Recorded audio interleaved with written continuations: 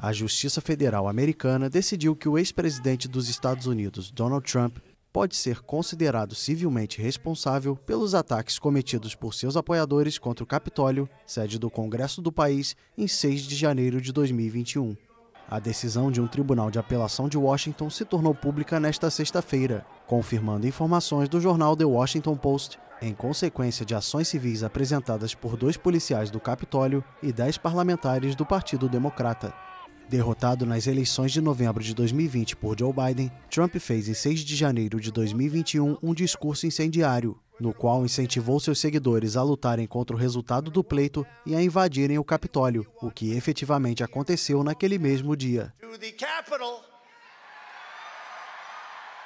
Desde então, mais de mil pessoas foram presas e 350 delas acusadas de agredirem policiais ou oferecerem resistência à prisão. Alguns membros de milícias de extrema-direita também foram condenados por sedição. O processo tem como base uma lei de 150 anos que proíbe o uso da força, de ameaças ou de intimidação para impedir que um legislador ou funcionários do Poder Legislativo desempenhem seu trabalho. Os demandantes estão aptos a cobrar de Trump uma reparação pelos danos causados, mas ainda cabe recurso da decisão.